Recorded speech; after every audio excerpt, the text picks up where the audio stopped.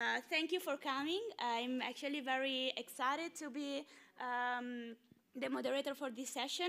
I will go very, very quickly with two words about me, I mean, at least on uh, why I'm here and why I'm doing the moderator here. Uh, so, welcome again to Sustainable Tourism and Travel Panel. It is a beautiful, a very interesting topic that I really care about. And just few words, I'm here because I actually just started as assistant professor at Franklin in environmental science. Uh, while I was doing my um, uh, bachelor in Milan and then natural science and then master and uh, PhD University of uh, Insubria, that is uh, one uh, wrong name there, so University of Insubria, the second one in Italy, and then I continue with part of my PhD and then the postdoc in uh, University of Geneva, always uh, specialized on climate change mainly, and specifically on climate change impacts on vegetation, but vegetation which is living in very hard conditions, uh, so they are, they are the most sensitive to what is happening now.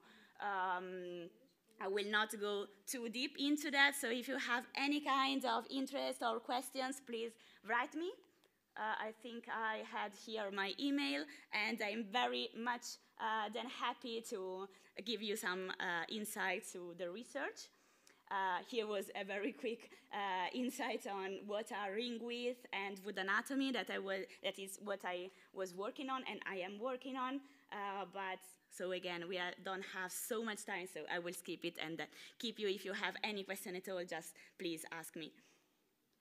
Um, then I am here because I just started, as I said, as an assistant professor. I'm starting this semester with biology, genetics, evolution, ecology, sustainability science, especially, which is one of my favorites for now. Um, Next semester, I will go a little bit deeper to the environmental part with also climate change, and specifically uh, for the first year seminars and uh, um, other courses.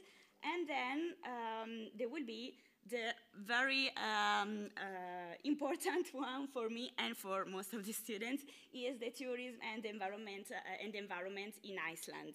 Uh, just two words about academic travels here at Franklin academic travels are one of the unique journey of, offered by FUS, so from Franklin University. It's really a distinct point of our university and it's great because it's really the time where students can finally understand what, it, what, what does it mean what they study, uh, and understand them, understand it with their uh, hands, let's say, going in person to the field and finally understand what they're really learning, which is not always easy to achieve. Um, so uh, my academic travel for next year will be uh, in Iceland and will be uh, related to sustainability, sustainability and uh, sustainable tourism and the environment. I am an environmental uh, science, let's say, um, sort of expert, so I will focus more the course on the environment and especially on the effects of on the environment. So uh, we will cover different topics on like what is tourism, how many kind of tourism we have, and uh, the very challenging uh, relationship between tourism and environment, which is really tricky because without environment we don't have tourism. So it's really uh, extremely important to understand the effect that could be positive, but could be also negative. Um, then today, uh, anyway, we will have the very uh, beautiful chance to speak with experts of the, um, uh, of the topic and of the sector about tourism and everything related to sustainable tourism. So how we can approach and how we can really uh, do something and deal with the problem. Um, here there are only five, but we have a last uh, addition to uh, the um, um, to the list. So we have Alan Quaglieri, which you can, it's, it's okay, sorry. it's, it's, behind, but he will come back. Technical problems. Uh, then Alexandra Tosun. Tell me if I'm wrong with the pronunciation, please. Uh, Camilla Dagani. Uh, Engbert Roos, Ross, sorry again for pronunciation, and Robert Carney, again here. Uh, and then uh, Bruno here, you can Uh, so I actually just will go very quickly uh, on each of them. Uh, they have an amazing life, amazing experiences, so it would be very difficult to uh, really give them the, the, the, the, space that they need to, to for, a, for a real presentation, but I will try to do my best. So I just pick the main um, um, topics and the main, the, let, us say, the highlights of, their, uh, of the biography that they, they sent us. Uh, so maybe, I don't know if Alan, I will just say, Alan Quaglieri is, uh, is uh, disappeared, uh, it's here, it's here, it's him. okay, he had his PhD in tourism and leisure at University of Spain, of, tell me if it's something wrong, University of Tarragona in Spain, yes. right? Uh, then he did his master degree in tourism management and planning, University uh, of Tarragona, Spain, and a degree in economics from Bocconi University in Milan. Um, he is now a lecturer at SUPSI. Yes.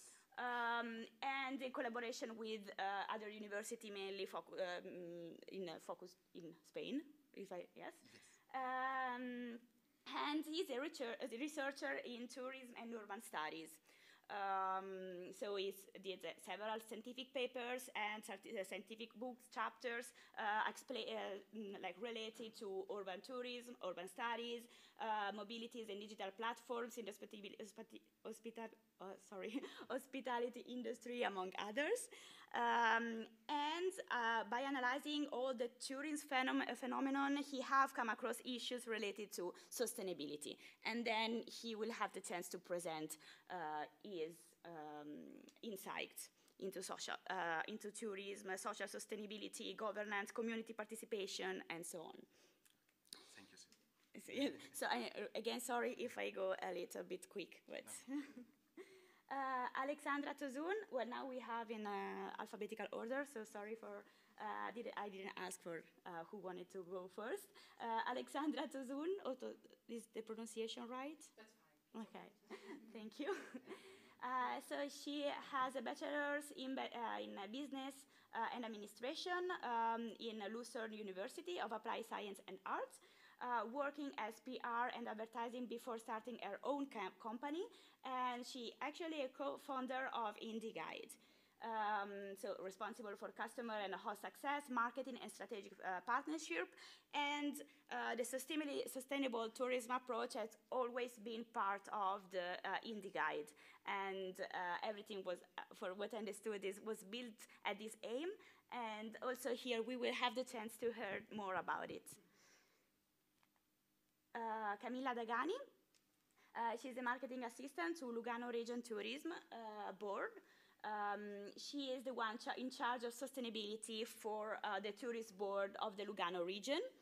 Um, so we will listen something about uh, Lugano region and what they do uh, on the tourism and sustainable tourism part. And indeed, Lugano region always uh, have promoted uh, different kind of tourism, trying to put sustainability always in the center of uh, their approach. Engelbert Ruoss, so he, uh, every time you can stop me if you want to add something, of course. Uh, so Engelbert Ruoss is a PhD. He has a PhD in, uh, in, biology and a master in museum science from the university in Bern and Basel. Uh, he is a lecturer uh, of the course Tourism and World Heritage at USI, uh, Master in International Tourism. Um, also, he's a research associate for the USI UNESCO Chair in ICT, so Information Communication Technologies, and um, like uh, uh, was uh, focused on developing and uh, promoting always sustainability, sustainable tourism in the World Heritage Sites. Um, so he was a former director, he is a former director of the UNESCO, uh, the Regional Bureau for Science and Culture in Europe in Venice, and responsible for the UNESCO pro program's implementation in Southeast Europe, and other than member of the UN Director uh, Conference for Europe in Geneva. Uh, so is uh, going on with a lot of research, uh, including governance and management of UNESCO design sites, uh, very interesting for our sustainable tourism uh, topic. Um, so which he can valorize and um, all the cultural and natural heritage for the local development that it's really again very important and um, highly relevant. Um, then we have uh, Robert Cudney, uh, who he is a formerly and, uh, a wild and exotic animal trainer, is expertise in conservation with particular focus on sustainability. Um, uh, he was focusing on behavior management for conservation of endangered, endangered species. Um, again, also part of an adventure travel company and a former director for the Veracruz Reef System National Park and Cozumel Reef National Park. So he also has a, very long and beautiful biography and uh, experiences his life, and we will be delighted to listen uh, to what he has to say. Uh, and finally, sorry for the last one, Bruno, if you can briefly introduce yourself. Yes. Yeah. Thank you very much for the invitation. And uh, my name is Bruno Golferini, and uh, I manage and work in uh, Villa Alceo, which is a boutique hotel near Lake Como. We organize uh, weddings and, uh, and events, and we care a lot about sustainability, as I will tell you later on because uh, we, we produce and farm raise everything that uh, we, we give to the guests. Perfect, thank you.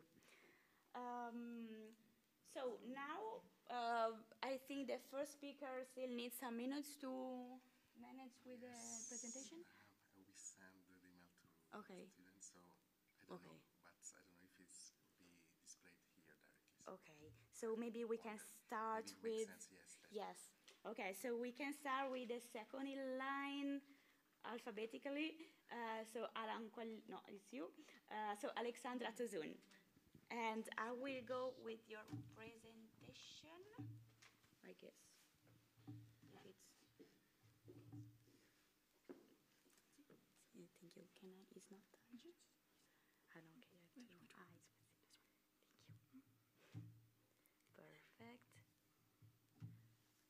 Ah, it's So hello everyone, thanks very much for inviting us, or me. Um, yeah, as I said, um, as was said before, I come from a very practical approach. So we are actually really in the tourism industry. We are an online marketplace for local hosts uh, in, we say, underrated destinations. And yes, so our business idea was actually created out of, out of a social responsible thought already because we are, were approached by these fine gentlemen here while we were traveling in Mongolia, asking us, "Hey, can you send us more travelers? We want to show our culture to more travelers." And that's how the whole idea to connect travelers with um, with uh, local people was uh, created. Yes. So our goal was always um, to empower local communities and to really bring even guides or hosts in rural areas, in underrated destinations to online and give them a chance to be part of international tourism. And on the other hand, give, um, give open-minded travelers, as we were actually at that time ourselves, a real authentic experience, something that is memorable, something they will remember. For us, it was a life-changing moment. I mean, it doesn't have to be always life-changing, but at least something that you can remember. So this was why we created this uh, business idea. And I want to give you some practices on how we do responsible tourism and how we integrate responsible tourism in our daily work. So one of the things is I think is important from the traveler's side is um, we promote slow tourism, meaning staying longer in one country, do multiple multi-country trips, stay longer in an area, really get to know the culture, and just do maybe once a life, once in a year, a bigger trip rather than just hopping around and you know getting everywhere very quick. On the other side, I said that before putting locals first, so it's a really big mission of ours that we can give as much money back to the communities and the country or the local people in the countries we work with um, to state that the money stays actually in the country. We take a very low commission and that everything can stay actually in the country again. We also do support as much women-owned business as we can and also, as I said before, the really people in rural areas that maybe don't even have an online uh, platform so that they have a chance to be also part of tourism. Promoting off the beaten areas. This is a fight against over tourism we are doing. So, really trying to show people that there are other places also worth exploring in the world, not only where mass tourism is already the already overcrowded places. So, really say, telling them that there's different places as well worth visiting creating interaction and for cultural exchange. I think this is also something we really like to do, bringing people together. Like I said that before, people after COVID, they want to travel in a more immersive way. They want to explore more. They want to really get to know a culture. So um, we have some nice experiences where people really can meet, not like the sort of cultural shows, but really be a part of a daily life of local people. So there is an actual um, connection between humans. Preserving tradition and culture in this uh, e uh, example here, also Mongolia, this is a Kazakh people, they are hunting with eagles since thousands of years. This tradition probably would not be passed on as much anymore because you know young people they want to do something else. But because of tourism and because people want to see this um, this could be well preserved. And also people they are, it's passing over to the younger generation even to young girls which was not always uh, what was not the, the usual case at, uh, until now. And this is always, I mean, it has uh, both mixed beneficials, but if it's done right, this can really be a nice part to preserve culture. Um, being part, we also try to be part of sustainable tourism development projects. Um, here, I think it's very important to also understand that if you do such project, it's important to look to work with local people, that the local people also have a saying in what is going on and they have a voice. Uh, we worked here as well um, with a, a UNWTO um, Silk Road project together, and this is a good example how it can be done together with local people. Supporting conservational program projects rather than um, other like in Central Asia, in the area, there were hunting trips were very much um, popular at one time. Nowadays, it's we can see we don't do this. We rather promote conservation programs or tours that have to do with conservation because also the, there is a demand from from the people. People want to see now the animals rather than than do something else. Presenting and protecting cultural heritage. This has to do with UNESCO as well. Um, UNESCO World Heritage Site, oh, it's an important, in this area, also an important part. Um, educating people how you can, how you deal with it, and also um, managing tourism flow in this, related to this. Um, has a lot to do with also religious and tourism and pilgrimage. Promoting seasonal travel, you know, just really show people that there's not one season you can travel in a different area, like also promote other seasons that the, the, the work opportunities for the local people is steady and uh, the, um, around the year, like they have, have work opportunities. Support on local communities. Um, this example here, we had a dentist coming to Kazakhstan, fixing teeth voluntarily. So we try to include this uh, sort of local projects together with um, touristic products with volunteers sometimes. So this is always we have something we have, we have stuff in education we have stuff in uh, infrastructure and projects in health as well. Provide education of course we always try to share as much knowledge and tourism insights on sustainability and other trends as we can with for our local people for our locals and hosts it's important, as we heard before, conservation. Um, nature is one of the main points why people travel, and it's important to tell also local communities why they have to protect their environment, why they have to protect their natural habitat, because otherwise nobody will come and nobody wants to see it. So this is a big part of our work as well. Uh, we are in this uh, responsible tourism approach, but we are also very much believers in this transformational tourism. So we really think that tourism can change a, per a person's behavior and their perspective. It can change a it can create acceptance, it can create tolerance, and this really has a positive impact in the world. And if we do it right, we can create those win-win situations we try to create with sustainable sustainable tourism. Um, yeah, we have a, we can satisfy all the stakeholders, and hopefully this will last for future generations. Thank you.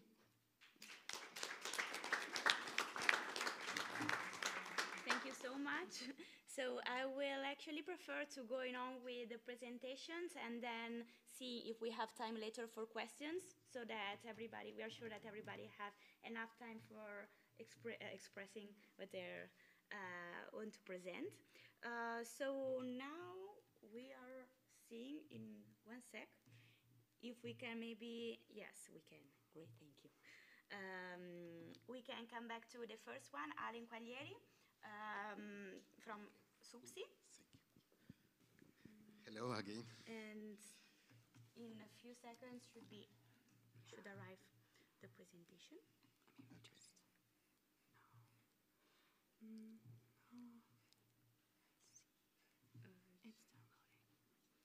Okay, it is downloading it, almost done. Okay. Uh, sorry for this inconvenience, but uh, this is one of those days when everything has to go wrong, it's going wrong. And technology is not always so friendly. this is the case. Thank you. Okay. Here we are. Uh, do you have the... Yes, yes. So very briefly, I try to be very concise, something very challenging for me, but I will try to do my best. I'm going to well, present uh, some point and some uh, reflection uh, related with uh, the community uh, participation in tourism governance. Okay, uh, what is we will see what is community participation, but we can say it's a principle and at the same time it's a tool. We will not say for ensuring, but for developing further the sustainability of tourism activity. And this is a concept strictly related, uh, particularly with uh, social sustainability. We know that sustainability is not just something uh, related with environmental issues, so there are other colors other than green related with sustainability, and community participation is particularly related with the social pillar of uh, sustainability. And I think about social sustainability is also thinking about uh, the impact uh, of tourism and the benefits and the drawback that tourism activity can develop on the territory and impact on the uh, well-being of the individuals and the groups uh, uh, co uh, that comprise a community. And well-being is also a very complex concept, particularly because it's very difficult to be to assess, uh, because we can also rely on some um, objective in, indicators, but many other aspects can be just assessed uh, by asking to the individuals concerned, to the stakeholders, because they are the only legitimated for assessing certain kind of impacts on their well-being and daily life. Okay. So it's important to ask to them, not only think about what could be useful, could be important for them, It's not just to think about the community, but ask to the community. Otherwise, in certain situation, uh, particularly when tourism reaches the mature stage and high pressure on certain areas, for example, in a city like Barcelona, then we have this kind of reaction. Uh, this is, is a, there are pictures uh, of a rally against the Airbnb phenomenon in the Barceloneta neighborhood, maybe for those who visit Barcelona know no, the, the uh, seaside uh, neighborhood in the old town district of the, of the city of Barcelona. Other situations like the one experienced in, in Central Australia and around the site of Uluru or Ayers Rock, one of the most known uh, tourism uh, resources in the country, uh, that was uh, uh, characterized by this struggle of part of the local community, the Aboriginal communities, they have a different approach to this site uh, and uh, give to this monolith a different meanings. Eh?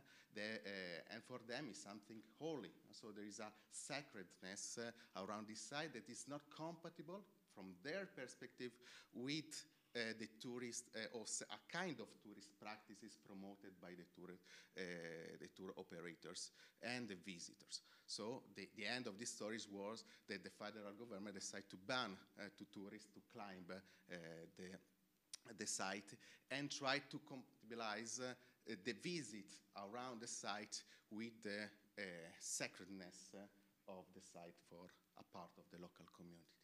So it's uh, community participation that's about uh, uh, tourist governance. Okay, so to enlarge the decision about uh, how to structure the tourist development in an area by including uh, uh, the, all the stakeholders.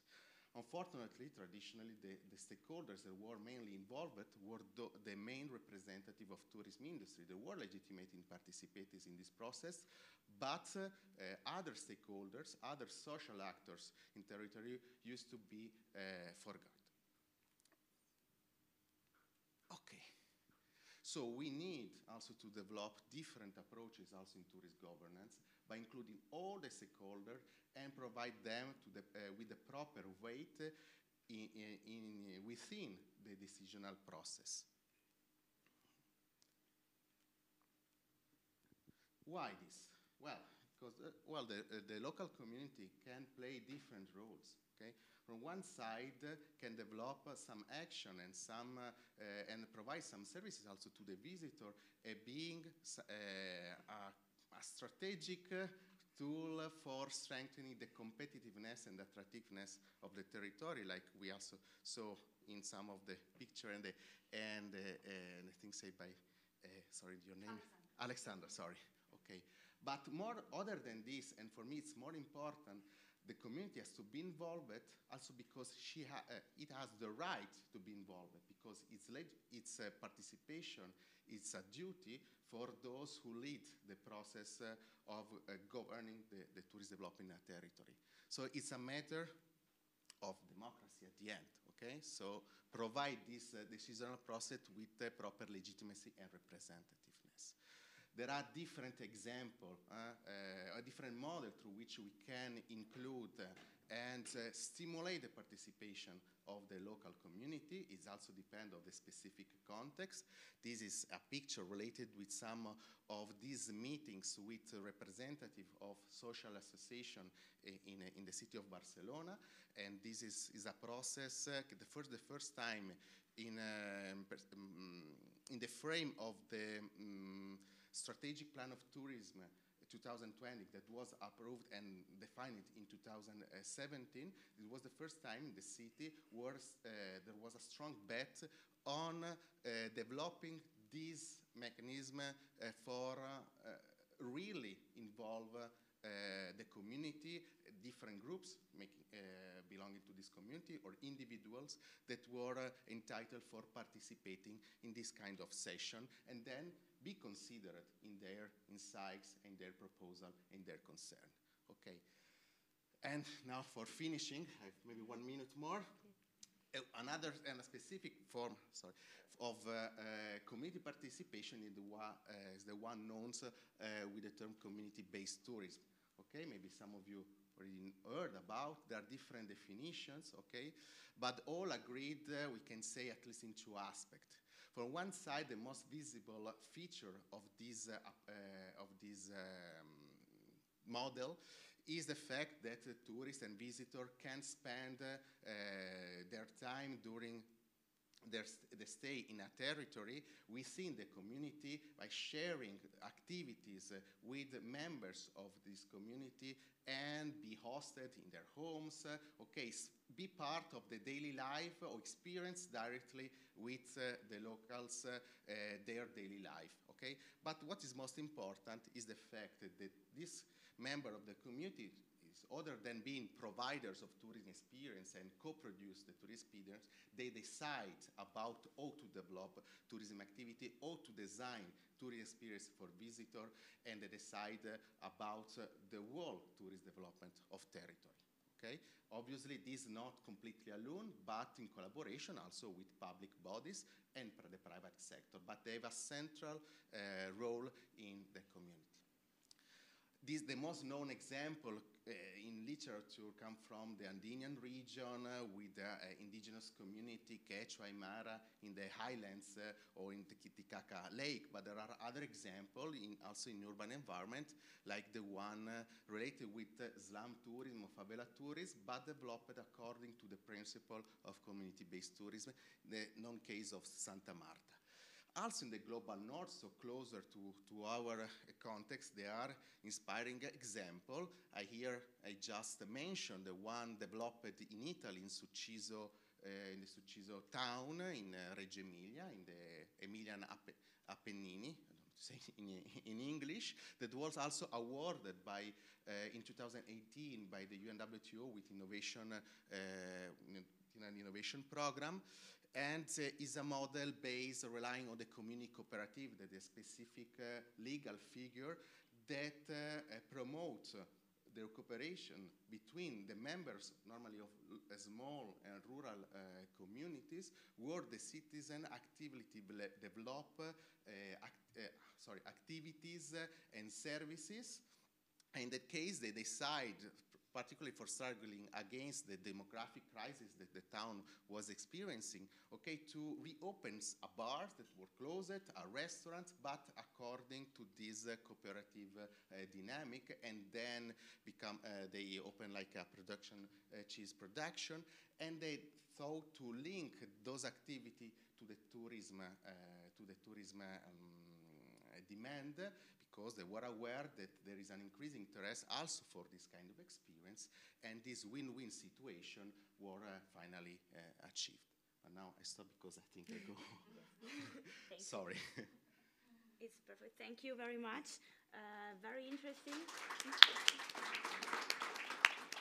So I will pass by to the third one. If you uh, are okay with it, I will go with Professor Engelbert Ruoss. If it's fine, uh, we'll just Yes, go ahead. go to your presentation. I just stand up so that you can see the whole picture. Yes. So I will talk about a very small project, a micro project, but nevertheless it is very, very difficult to implement. So this is the Arbostora Heritage Destination, which is nearby here. So the Arbostora is this mountain over here with Morcote. This is Italy, Porto Ceresio, and then the World Heritage Site, uh, Monte, uh, Generoso. So the heritage des destinations are particularly sensible to changing visitors' flows and increasingly suffer negative impacts from over-tourism. So that's why I have chosen the heritage destination term, because uh, I think these are different because you need a huge conservation effort in these places. It's not just uh, a tourism place. So the pandemic has led to a shift from real to virtual travel and correspondingly an increase in digital processes. Future sustainable tourism needs to consider the interwoven physical and digital environments and the changed digital mobility of people, as we call it today, combining these uh, digital and physical issues.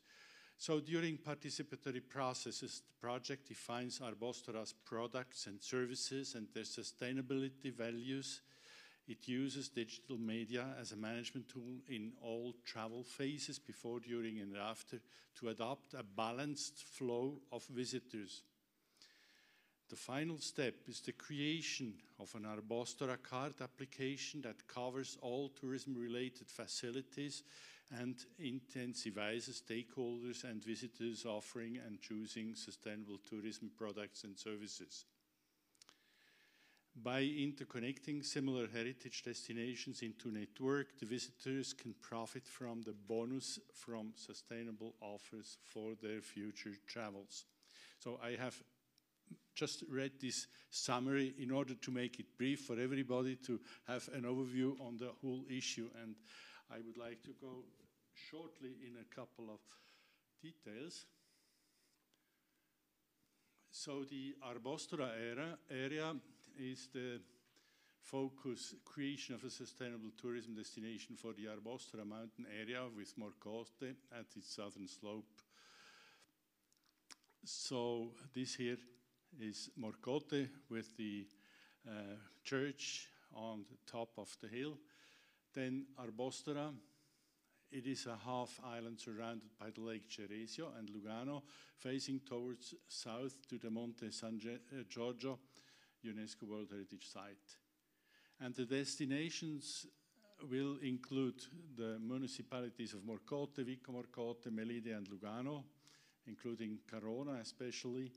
The villages have around 4,000 resident population, but during the main season, the population increases up to 10 times, mainly also through second house uh, tourists.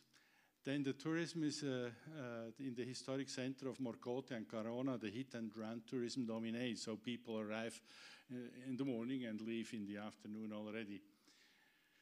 So travels arrive mainly by car uh, or bicycles. also, the public transportation by train, bus, and boat is well organized. So the question is always, why are people still coming by car if they have all the facilities of public transportation? Then the hospitality infrastructure and services have high seasonal variability.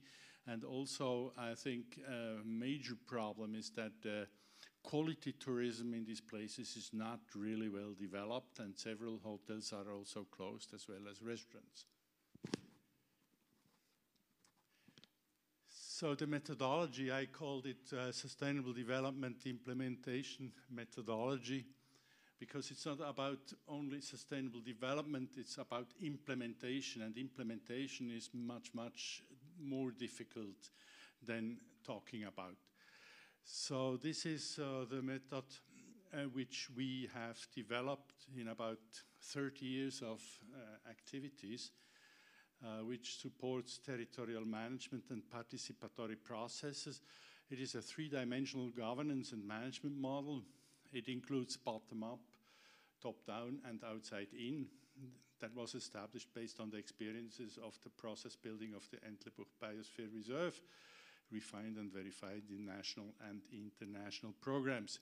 So I was responsible for this uh, UNESCO Biosphere Reserve Entlebuch, and we have in five years built up such a sustainable um, area, region, and it was the ever first um, uh, large protected areas worldwide and in the field of UNESCO, which has made a bottom-up process.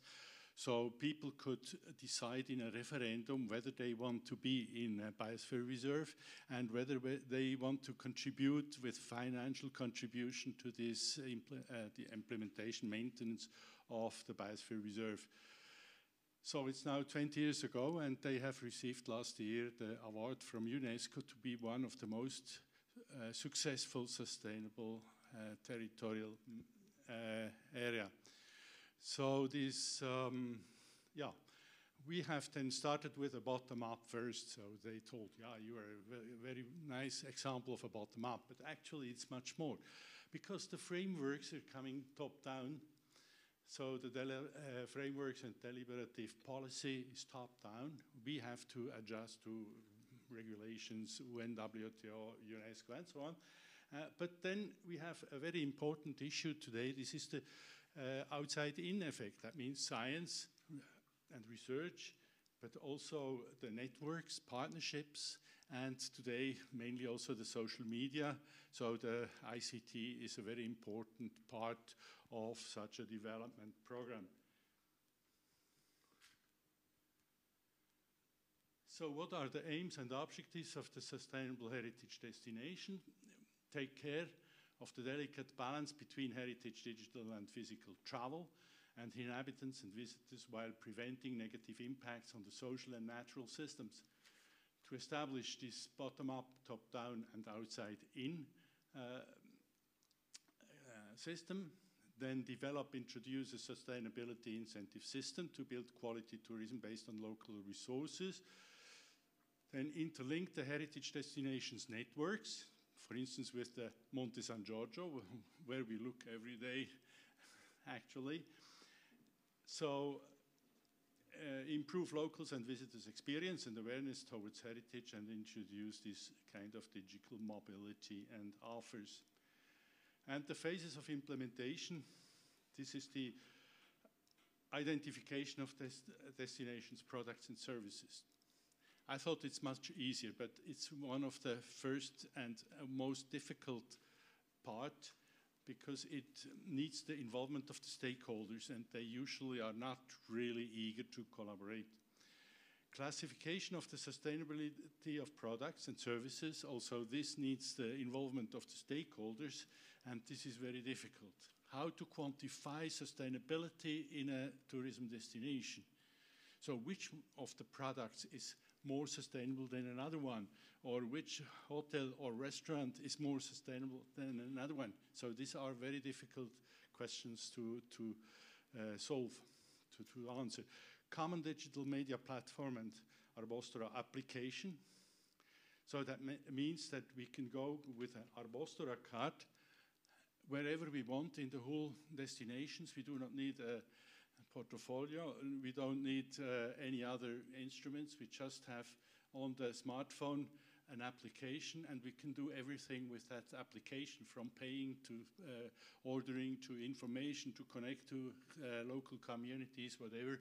And what uh, is the most important incentive system means that uh, people want to profit from being sustainable. So the every first question is always, what's in it for me? And uh, if you do not answer this and solve this, nobody will join your activities with regard to sustainability.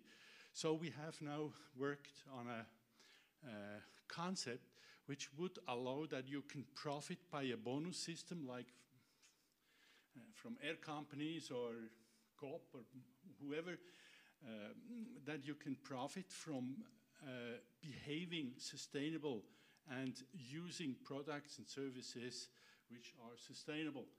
So at the end that you can use the bonus in order to travel again to other uh, destinations or you can use uh, also to as a donation to the maintenance for cultural heritage, for instance.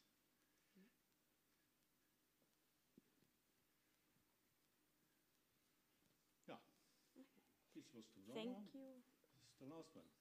Yeah. Great. I, I will. We, we are a bit uh, short of time, but. no, it's okay. I was, it was. Okay, perfect. Thank you so much. Sorry.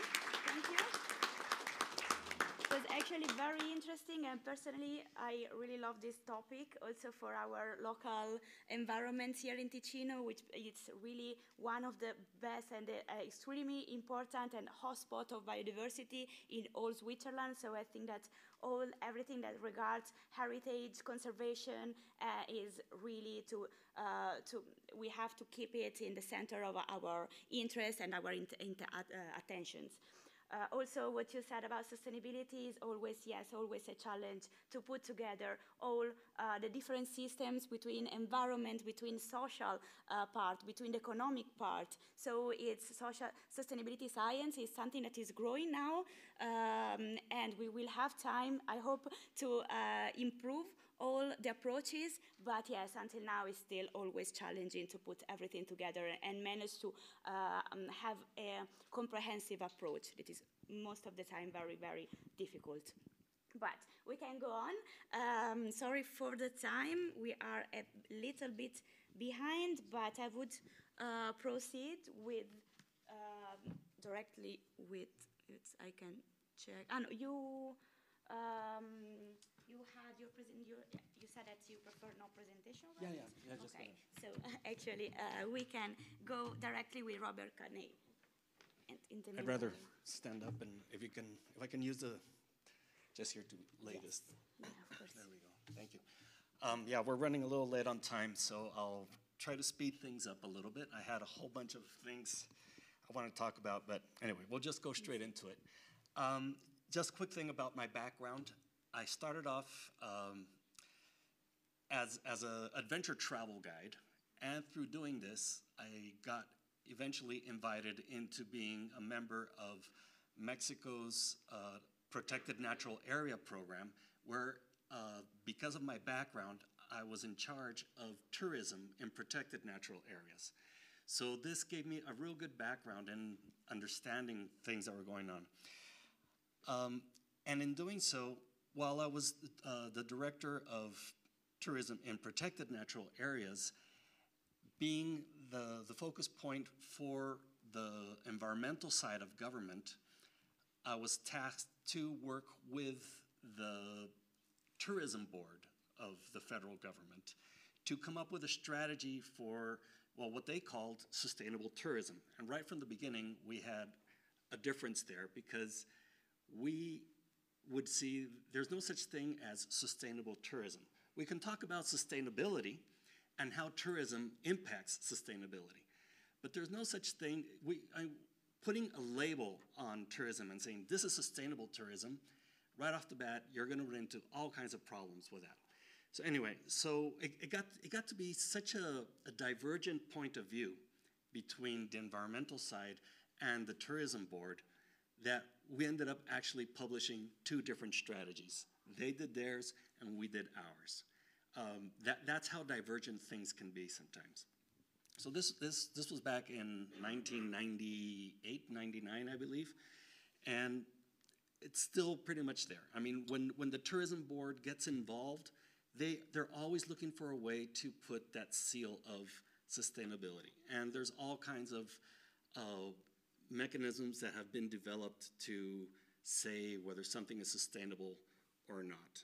And we could go hours and hours and days into this discussion. And um, it, it's a very long, it's, it's, there's a lot to be said about it. But um, when we talk about uh, sustainability, it's, it's, it's, not, um, it's not a binary matter. It's not sustainable or not um, as she was saying uh, before, I mean, it's, so, it's very complex. And there's matters, there's different elements that involve to be able to call something, to be able to say whether something is being sustainable or not, okay? Um, so I'm going to wrap this up. I'm going to go more into uh, a case that is very close to me, and that's the island of Cozumel. Okay, uh, the island of Cozumel, it's it's an island in, in Mexico's Caribbean off the Yucatan Peninsula. It is roughly the size of Manhattan, but it only has a, fraction of the population of Manhattan. Uh, there are different views as to the importance that this island had within the Mayan culture back then, but we do, what we do know for certain is that it was a very important place for um, navigation that began from Europe into the Americas and navigation from South America into the United States. It was famous as a pirate base, as a contraband center, and eventually as a strategic military position. During World War II, uh, while Cozumel's population was less than 5,000 people, the US and Mexican governments signed an agreement to establish uh, a military airport and improve all of the maritime uh, port infrastructure. This was to, for, for military purposes. The United States wanted to have this base out in, in the Caribbean that they could use. So they created all this huge infrastructure for a very small population. So then after the war, uh, with all this already set up, Cozumel was really primed and ready to be able to accept thousands of visitors if it wanted to, but it still wasn't really on the map as a tourism destination.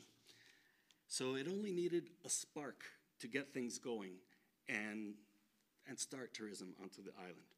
Well, it so happens that we didn't have one spark, we had three big sparks. One of them was an article that came out in Holiday magazine that featured Cozumel, and suddenly people in the United States knew about this island in the Caribbean. Before that, they knew about the big island right close to the United States, which was Cuba, and everyone was going there. But then the other spark was the Cuban Revolution. which pretty much ended American tourism into Cuba, and they started looking for another spot to go. And there was Cozumel right next to it.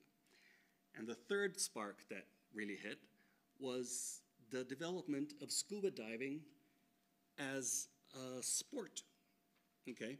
So suddenly, as a, as a, as a leisure activity, scuba diving was there. And Cozumel was a perfect place to practice this sport. So Cozumel would have pretty much remained simply a aerial and maritime layover were it not for its spectacular uh, coral reefs and ideal diving conditions. So soon after the magazine article, um, and there was also an underwater film featuring uh, the, uh, the Cozumel reefs, we started getting hotels built for the first time uh, on the island.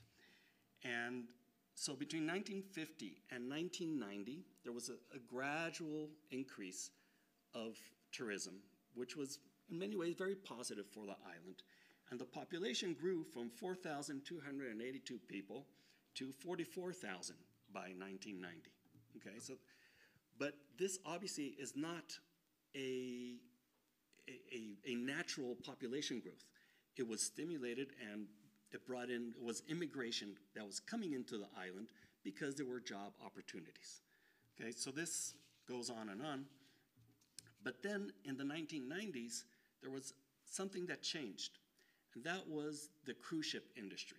The cruise ship industry went from being a high end, uh, small, there, there were small cruise ships before, sometimes maximum 500 people, and they, there was the dining room where you would, there was a the moment where you could dine with the captain, and the cruise ships would stop at destinations, and people would get, would get down, and most of the times they would actually stay overnight at the destination, so people would also go for the night activity at destinations and stuff. The cruise ship industry changed in the 1990s and it became massive, cheap, very affordable for lots of people. So we started seeing these huge ships start to come in, and instead of having hundreds of people, they went into the thousands. So, and again, Cozumel, due to its strategic location, it became the world's most important cruise ship destination. And so we went from having less than 10,000 cruise visitors a year to last year reaching almost 4 million visitors in a year due to cruise ships, cruise ships alone. Okay? So, and again, this incredible increase in tourism brought about even more population growth rate. Okay, so now we went from 44,000 to 90,000 in 10 years. Okay, it, it doubled in 10 years. So you can start seeing what's happening here. It, it's very clear. You, you don't need to be an expert in any of these subjects to understand that the resources are being used and more people are coming. And something's going to have to give at some point, right? In 2003, that's when I was sent over to Cozumel uh, to be the director of the Cozumel Reefs National Park. Um, this protected area um, had, had, faced a number of controversies and social rejection um, from the moment it was established in 1994. And there, there, were a lot of lessons to be learned, as they were talking about, and you can't, these things can't be brought down from the top down and say, from now on, this place is protected, all right? Um, which was one of the errors that were, that were committed at, uh, at, one, at one point. So, as a resource manager, my first task was to evaluate the health of the park, of, of the ecosystem in the park primarily. Okay? And in doing this evaluation, you will identify the risks and sources of pressure.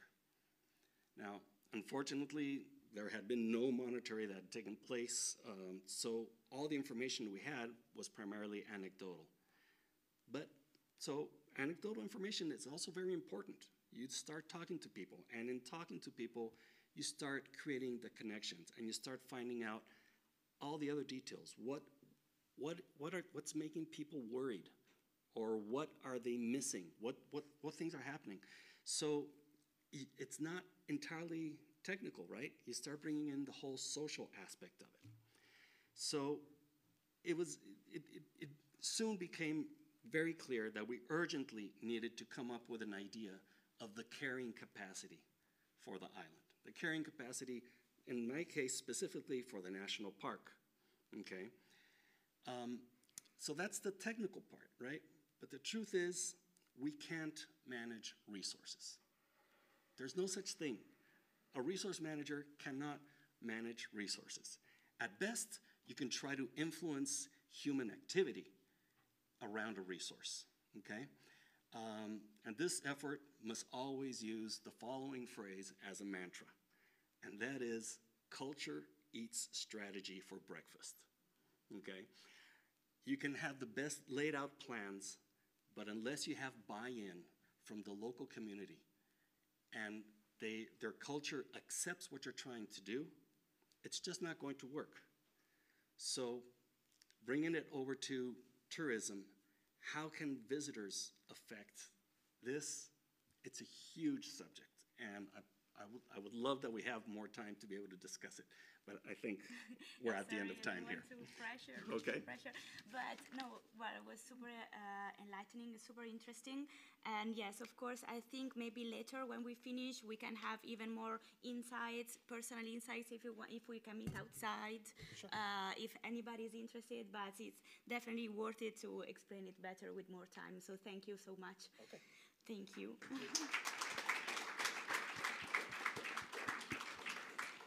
Okay, so I would like to proceed with Camilla Dagani. And. Oh, oh yes, my presentation is. This one. Oops, sorry, my fault. Okay, I think with uh, the, yes. Okay, and Okay, yes, it it should work. Okay, perfect. I leave it for later. Good morning, everyone, and thank you for inviting me to talk about uh, what Lugano region is doing in terms of uh, sustainability. We are currently involved in several projects, uh, as you, as you can see, and in, in the next few minutes I will explain uh, uh, some, I will present some of uh, um, them. This is the third year that Lugano region jo- joined the GDS index, an index that measures sustainability in environmental, social, and economic terms. Based on the criteria of the GDS, the destinations that have joined this program will be evaluated, ranked, and um, then included in the ranking of worldwide destinations. Our goal as uh, Lugano region for, for 2023 is to reach the Swiss average of 59%. Another issue that um, um, we are addressing and that, that's very important to us is accessibility. We are in fact engaged in various projects from uh, the collaboration with Pro Infirmis and OKGo, aim to map tourist attraction in our region and providing information um, on accessibility, accessibility to tourists, to the one with Claire and George, that's a foundation uh, with the aim to ensure accessible holiday to everyone, regardless uh, to the age or uh, the disabilities. But also we have a collaboration with mi- micro-influencer with disabilities who we, call, we can who uh, show accessible activities in our region. In the next, sorry, uh, a few weeks ago we launched our, um, sorry, I have a video. No, it doesn't work. Sorry. Okay. The shoot, sorry. Okay. Play. Is without sound is right? Yes, yes. Okay, so maybe I can make it started from the beginning. Perfect. Oh. No, but we No, no problem. small, I think yes. you can go for the play. Okay, perfect. Sorry for the inconvenience. So, in the, uh, a few weeks ago, we launched our new website and we improved the sustainability web page by making it more user friendly. Here a small video about uh, um, this, how looks like this uh, web page. As you can see, it respects the steps of a possible tourist journey. Um, the public of the use of public transport to discover our region is our first point. The second one is a section focusing on hotels that, that have certification and label such as um, sustainable, program of uh, uh, Switzerland tourism. While the third section is dedicated to local products that can be found in our region, for example, uh, mm, honey, wines, um, cheeses, uh, fruits, and so on, but also to the restaurant that use local ingredients in the dishes on their menu.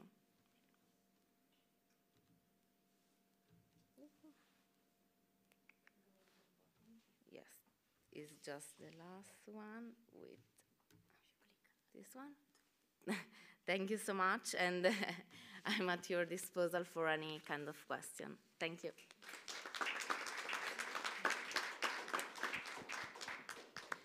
Thank you so much. And actually, was uh, we were very glad that we had some representation from Ticino region because we are in Ticino. It's one of uh, like uh, without all this system, we couldn't be here. So thank you again for joining us. Um, and then we go. Uh, I just need to find yours and.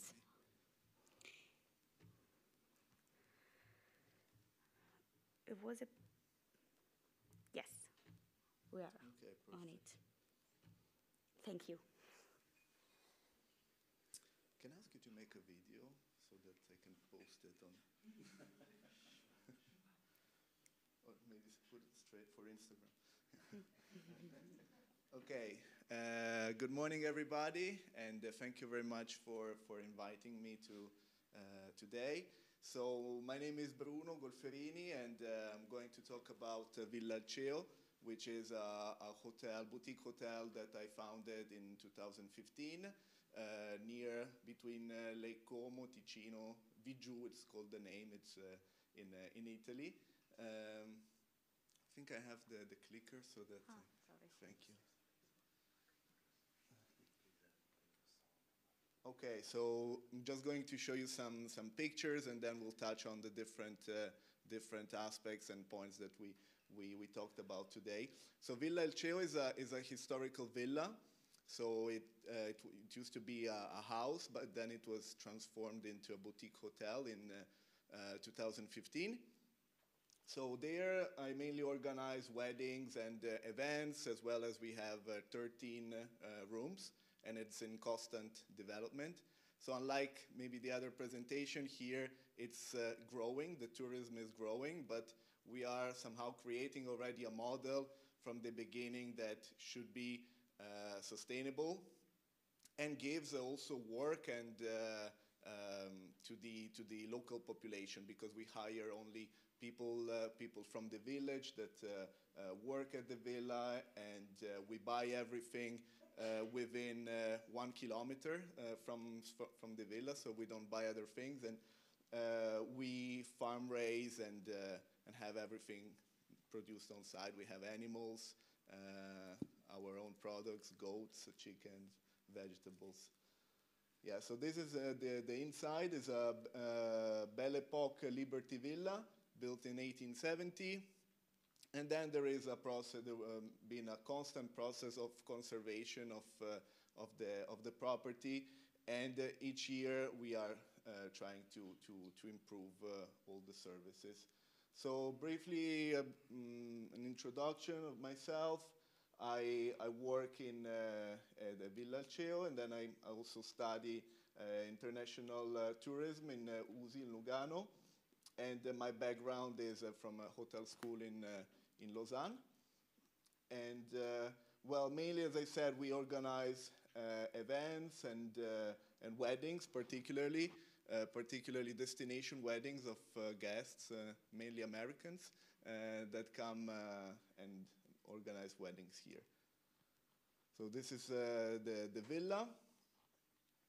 And uh, in terms of rooms, we have uh, 13 rooms and suites. They all have a special, special design uh, because uh, we, we make uh, everything like from, let's say, respecting the, the style of the, of the villa and also the, the architecture, reusing also the different furniture, so not buying like new, new furniture, for example, but reusing almost everything. So it's a lot about craftsmen. So I care about a lot about the design. I do also physically the, the jobs of, uh, of uh, building the, the rooms. And uh, um, just to touch on your presentation before, we have a yurt as well that uh, we're opening this year. So inside the, the park, so close to the animals, you're able to feed the, the animals in the morning, the goats, and uh, there is also a vegetable garden there. We will have a, our spa opening this year. And we offer also gourmet cuisine, but with special attention of the products that we, we farm raise uh, on site. So in summer, we tend not to buy anything outside, but it's all our vegetables, all our uh, ingredients. So this is uh, the attic uh, inside, inside the, the villa, and uh, also some of the horses and uh, vegetable garden and uh, future projects. So I'm currently starting a, a project as a thesis of the, of the Master in International Tourism with partnership of UNESCO. So regarding uh, regenerative, uh, regenerative uh, tourism and how people can discover the, the area, respecting, of course, the environment, sustaining the, the people in the, in the area. And mm, we found a water source directly inside the park of the villa, which comes from Monte San Giorgio. So, and this water has uh, beneficial, uh, beneficial elements, uh, therapeutic, therapeutic elements. It's very rich in magnesium. And so we, we give it to, to the guests there. And yeah, so this is a bit about, about what, what, what we do. And thank you very much for your attention.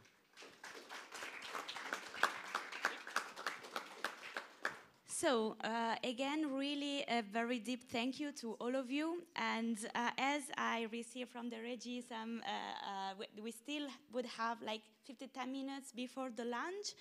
Um, so uh, the beginning was planned some question from me and from uh, the Green Office, but I would say, as you just have heard from uh, this amazing um, uh, panelists with different uh, topics and subjects, but anyway, always related with sustainability, I would like now to put, if you, if we have five minutes, just to put a spark of interaction here. So asking if you have some question or general question or specific question for uh, one of them or all of them. So thank you.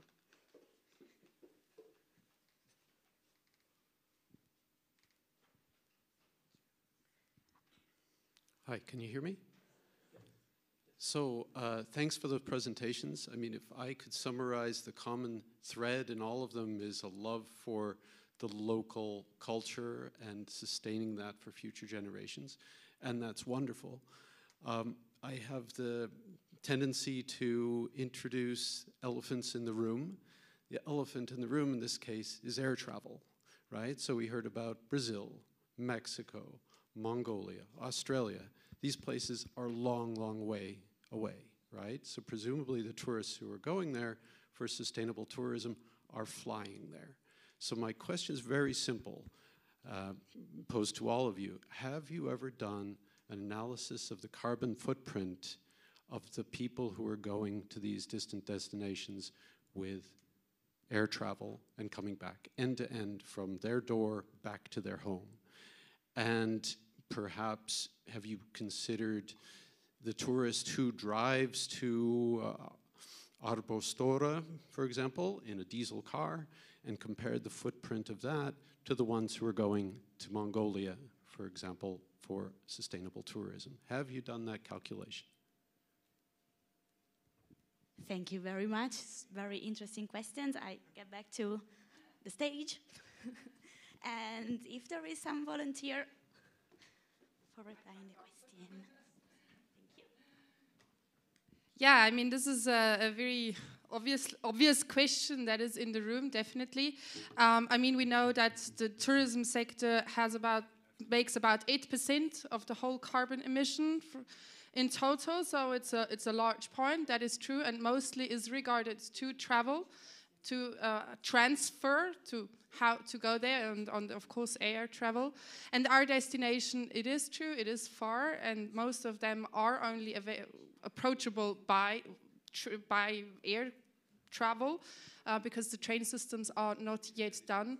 So um, yes, we haven't done any calculations yet. We are not in, in this position to uh, like logistically do this. I mean, we have data, which is good. So this is also a project in the future we want to do.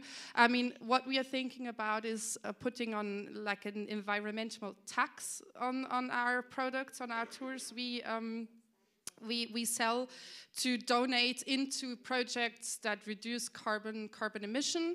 That is something we're trying or thinking about doing. Um, I mean, there are also things you can do when you travel. I mean, where you can use the public transport, use the train systems. Also, in our uh, underdevelopment uh, countries, there's already stuff going on towards development into more public transport or much more train transport, as well as if you fly long distance, then take a direct flight. Don't go the cheapest flight and go via several stops, like take a, a direct flight wherever you go, and then rather stay longer than just travel to the next destination. Travel longer, stay longer, really get to know a country, and maybe do once in a, in a year a, a big trip and rather do some smaller trips around your, your home place. I mean, here we have so many nice places to discover.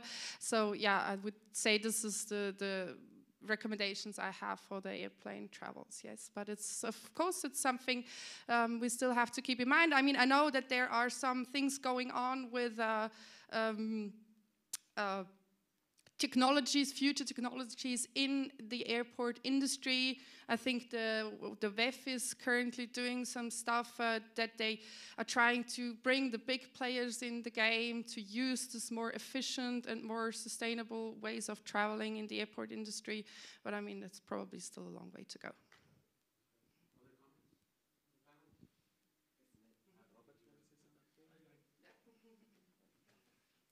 Never too shy. Um, it's definitely, I mean, it, it is the big elephant in the room. There, there's no doubt about it. I mean, um, but as destinations, it's, it's hard for you to really actually have an impact on them. So that's where the, the idea of linkages and partnerships can actually have an, an impact. Okay, where when destinations can start working with uh, the various airlines that that travel to them, um, that that's what um, they can start giving preferential treatment um, because I mean a lot of the a lot of what you pay, pay for your airfare is uh, the local taxes of of actually landing at a certain airport. So one of the things that has been looked at is how can those taxes be reduced or give preferential tariff with airlines that are offsetting their carbon.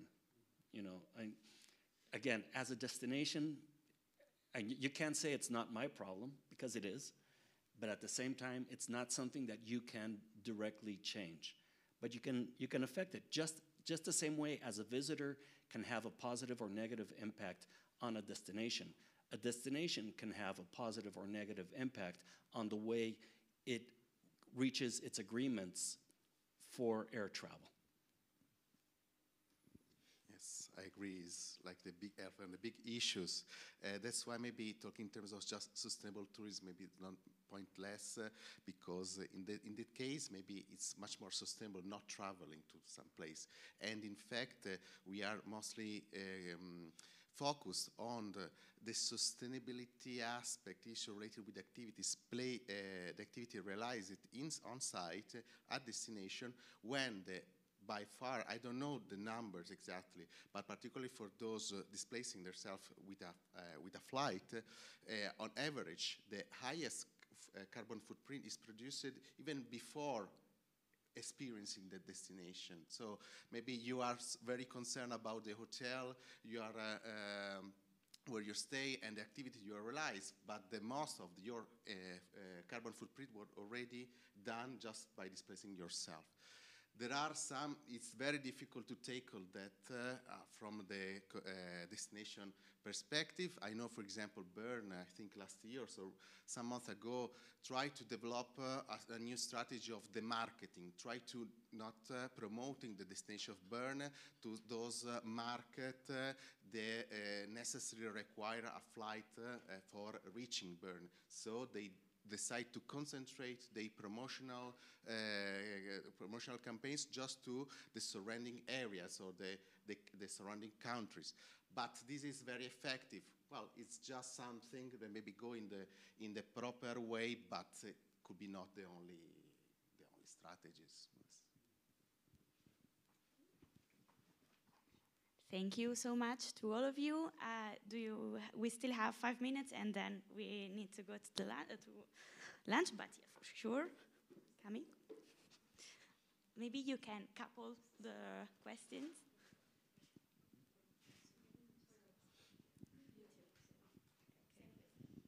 Um, okay, so I um, something that we kind of talked about before the panel started um, was that Franklin students really value travel. However, we're not necessarily working maybe with the same budget as someone who's earning an income as international students. Um, and so you had mentioned environmental taxes and direct flights, which are things that maybe might not be what? Yeah, and slow travel, which are things that might not be necessarily feasible for specifically university students um, or younger generations in general, maybe. Um, so I guess my question is, do you think that there is a possibility for affordable, sustainable travel, or is that, yeah, I don't know. I wanna I wanna add on to her question as well as long same going off of like is there a way to affordably or travel sustainably affordably, but also is it traveling and experiencing and learning about these cultures and places we're going because I think that's something Franklin really values. Is it worth it for the education over sustainability? I think that's kind of what I've been asking myself since being here um, because I have had so many like experiences, but is it is it fair? Is it worth it? I don't know. I feel really bad sometimes. Well, thank you very much for very good questions. I go back, and yes, in the meanwhile, in ah, okay. well, yeah, I mean, I see this oxymoron, right, what you're talking about. Um, I think, for, in my perspective, uh, perspective, I, just, I think I try to tell this at the end. I think that traveling is really important for our society, and I think, for, especially for young people, I think traveling is so important because it just makes us understand the world better, it makes us experience more, it makes us grow more, and it, it, it lets us get to know other cultures, and this creates just a more acceptance and also not being afraid of something else and leads makes us mo growth more. So yes i don't wouldn't say like uh, don't um, not do it. But yes, I can understand that um, these traveling options are probably not too uh, affordable for, for everybody. So um, yeah, I can't. I don't have the uh, right right answer for that question yet. But um, I think that are still ways to travel sustainable on a lower budget. Um, it depends also on you know how you travel in the country. I mean, there are still sustainable options that are more affordable than others. So I wouldn't say this is not possible.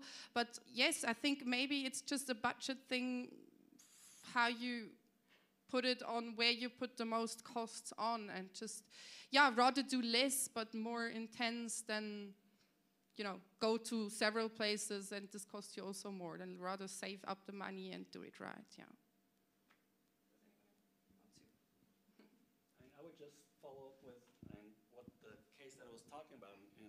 Cozumel, uh, where th- with the cruise ship industry, okay, where suddenly it's a lot cheaper to travel. And a lot of people, they would not travel were it not for those cheap prices. So saying, well, they should raise the prices, then you get into the whole social part. There is, I, are you being discrimin- is, is, are, are we being discriminatory by demanding all tourism should be more sustainable? You know, I mean, there's a whole lot of things that, that get involved there. And then it finally ends up in the final question Is tourism necessary? No? I mean, what, what, what is this? What, what, how much do you need to move away from your local residents to be able to be considered a tourist? Is walking into the forest around here being a tourist? Does going all the way out to Gambarogno or, or Lago Maggiore, now, does that now turn you into a tourist? Do you have to cross a border to be a tourist? How much time do we have? I mean, This would be a it's long huge- discussion. it's a huge question. So yes, again, I'm sorry that we are quite strict with the time, uh, and I really believe that this kind of discussion could take like hours that to be really discussed in a proper way. Uh, so I just think that now we can go for uh, the next session would be the lunch, and then. Uh, but I continue. I mean, I I really think that if, if everybody have further questions or you want the, you want to discuss more, you can reach directly our expertise and uh, our experts or mm, I mean trying to discuss for some specific uh, topic or, or, or at a broader um, approach but please um, do it. So don't worry. And uh, like uh, uh, you can also ask us if you don't have the emails and so on. Uh, but thank you so much all for coming. And it was everything was really interesting in my opinion